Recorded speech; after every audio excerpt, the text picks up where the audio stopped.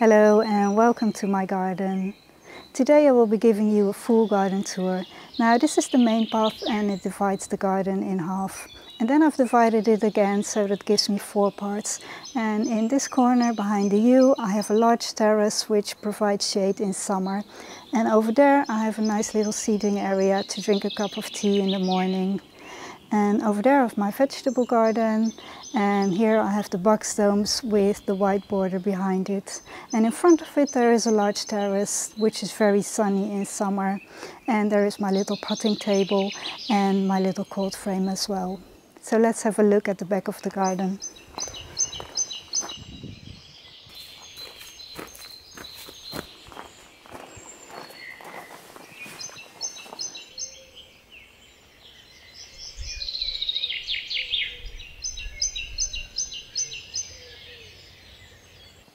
Now this is my favorite part of the garden to drink a cup of tea. Early in the morning you already have sunshine here and you're surrounded by these lovely plants. Now a lot of different things growing in here. I have roses in apricots and soft pink tones and then I have a lot of nepetas which attract a lot of bees so it's buzzing with bees here uh, in summer and then I have a lot of foxgloves in winter I have the hellebores and a lot of bulbs. I have the daffodils and tulips and I have Spanish hyacinths. And then end of summer I have my dahlias and I grow some annuals as well. So we'll be adding some cosmos uh, also in a soft pink color. So this is really a nice area to sit with lots of colors and interest.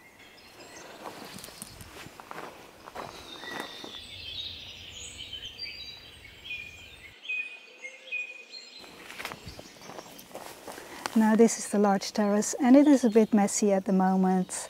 Um, over here I have all my dahlias because there's still a risk of frost so I've put them into a little polytunnel and because I don't have a greenhouse I can't put them in there so now they're nice and warm and protected over here. Over here I have my strawberries and they will go to the other terrace because there's more sunshine over there. And then here I have some other bulbs as well, some eucomas and I have some nerines uh, over there and a grass, a briza for uh, as a cut flower. And then I have potted up some roses that I had still in the garden and I have no idea where to go. So it's a bit of a nursery instead of a terrace at the moment.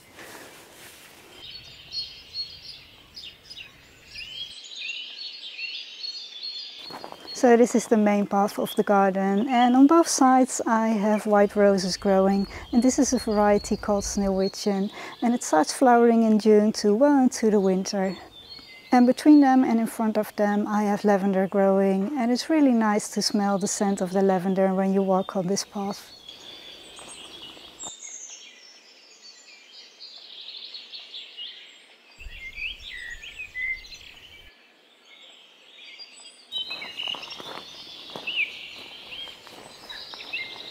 So behind me there is the white border. Well, it started out as a white border, uh, but then I added some of the hellebores to give me a little bit more interest in winter. Uh, but when they're gone, the rest of the border is fully white flowers only. So uh, now I have over here, have some white daffodils. Um, here I have the white roses, variety called Sneeuwwitchen. And then over here and over there another group, I have a group of white foxgloves. And then I've added another white hydrangea and there's one over there as well. So it's mainly white flowers. And then a lot of Aquilegia have self-sown over here. Uh, I had one plant and now I have many. And I don't know what the variety is called, but it's a bit lime green white color. Really beautiful. So over here I have the box domes uh, because I wanted to have a little bit calmed in the garden as well. And I think it's uh, nice with the backdrop of white flowers. So I started with box domes only and I've added a few thyme domes as well. But thyme doesn't do very well here because it's very wet in the winter. So most of them died so I've taken them out and now I've replaced them with another thyme. It's more of a ground cover, so fingers crossed that one will work well. And then I've added a few of the hellebores that I bought earlier. They were in the terracotta pots first, but now I've added them here between the bucks because I think it's really nice to have a little bit more interest in winter and something to look at from the kitchen window. So that adds a little bit of color. So let's have a look at the vegetable garden.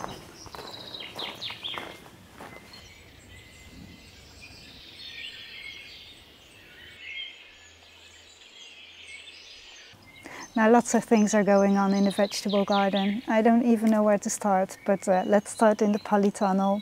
This one is packed with lettuce and the romaine salad is almost ready to harvest. And these ones, the little corn salads, are already start bolting, so I really need to harvest those. And then over there as well, I have my tomato seedlings. They are doing really well, and uh, but it's still too cold to put them outside into the vegetable garden, so they have to stay a little bit longer in there. And uh, behind them, I have my peas, and they're growing really well onto the trellis. And in front of them, I have some more strawberries growing. That one is a variety called Mara des Bois. And then uh, over here in front, um, over here I have my radish and they finally start growing a little bit better. They're now already six weeks old and usually you can almost harvest them but they still have to grow a little bit more. And then over here I have my carrots. They're also very tiny. I think it's because of the cold weather we had here in uh, spring. So and uh, over here my garlic is starting to grow and then the onions uh, at the back of them. And so and then over here so this is my little herb garden. I still have to sow some herbs in here uh, but my gooseberries are doing really well and they already start flowering so fingers crossed and hopefully I have some nice berries to harvest this year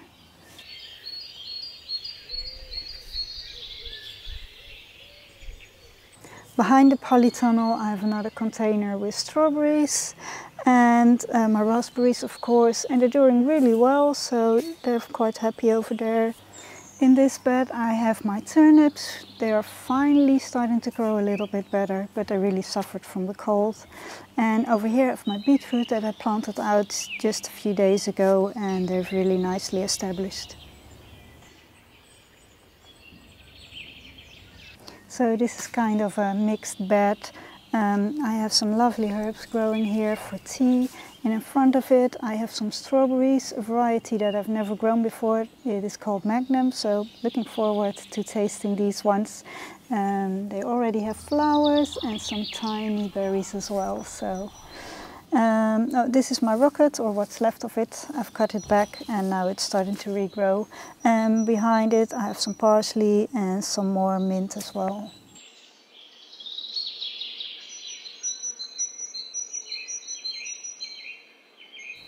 And behind me I have an apricot tree and it had a lot of blossom this spring, so hopefully I have some nice apricots to harvest in autumn.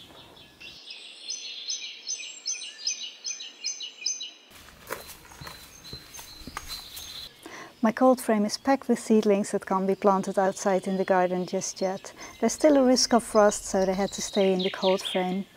But it is a lovely sunny day, so the zinnias that I had on my windowsill, they can go outside for a while, but tonight they go back inside. So over here I have these lovely courgette plants, they're doing really well. And these are my cucumbers and the butternut squashes, really lovely plant as well. So I have lots of snapdragons in here that I have to prick out as well as the cosmos, uh, as well as the calendulas. They're getting really big, so they really need to be pricked out anytime soon. And over here I have my little chili plants. Really looking forward to harvesting those this year. So hopefully we get better temperatures soon so that everything can go outside and there's no risk of frost anymore.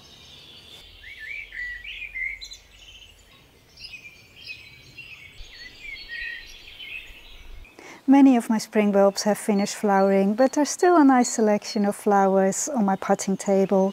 So I have the white muscaris, uh, the snake's head fritillaries that I really enjoy, and I have these Spanish bluebells. I think they're really pretty.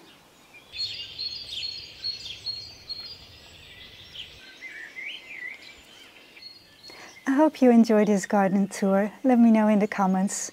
Thank you so much for watching and see you next time.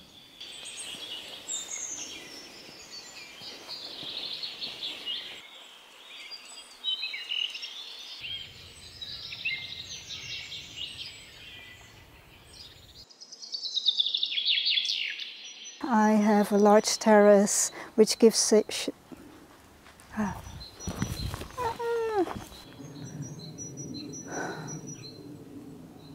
Now let's begin in, at the back of whatever. and here I have the box domes with the white border in the back of it. That doesn't sound good. Opnieuw.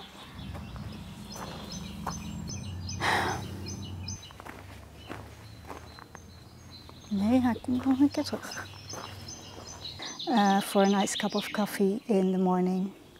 Ik drink geen koffie, ik drink altijd thee. Now I have, wat ga ik zeggen eigenlijk? And you feel quite whatever, secluded, included, surrounded. Oh. And then I will be adding some annuals as well, like the cosmos and dahlias and Dahlia isn't an annual. Now this is the large terrace and it is quite a... Oh. Hmm. So over here I have my strawberries. They will go to the other terrace where they have a... so, car.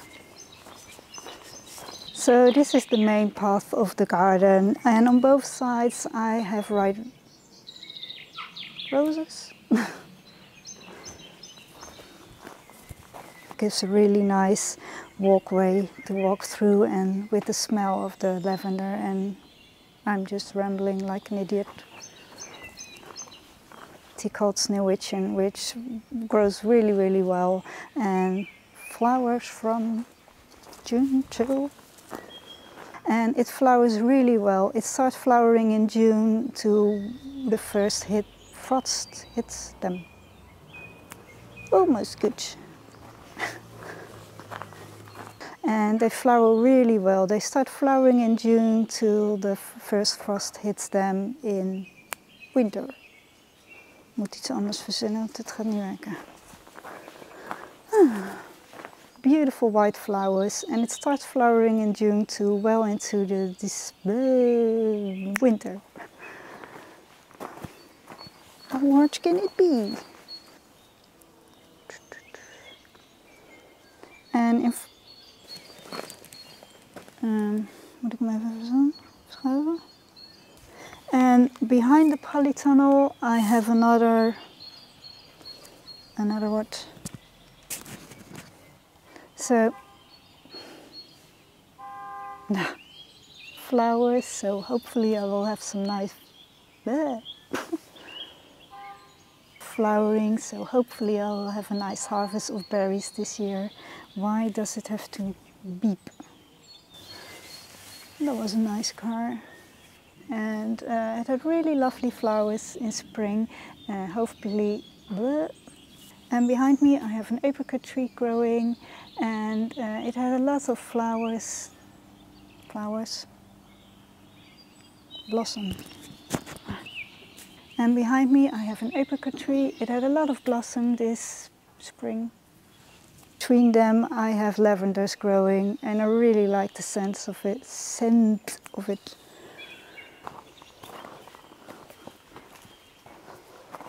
Nee, ik moest die kant op.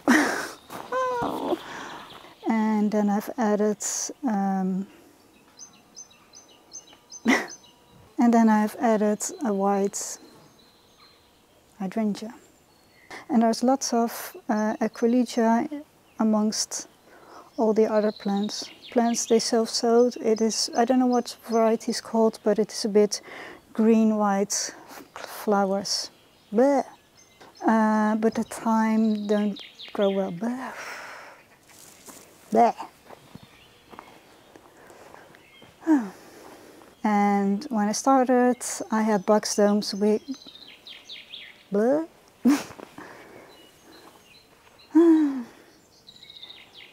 Many. No. Over there, I have some turnips. Yeah. And we have some noise. Nice noise. It's, it's lovely weather, so they can go outside for now. And there's noise. There's noise again. Lots of it. Loads of it. My little polytunnel is absolutely packed with seedlings. There's no space left. So, um, noise. Nice noise. My little my little cold frame is absolutely packed with seedlings. There's no space left. And um, but it's still too cold to put them outside. So there's an airplane. Let's shut off this recording. It is still way too cold to put these plant seedlings outside. Yeah, noise. So they have to stay into the cold frame. And uh, my zinnias, that wasn't what I wanted to say. My, my cold frame is my cold so that everything can go outside and there's no risk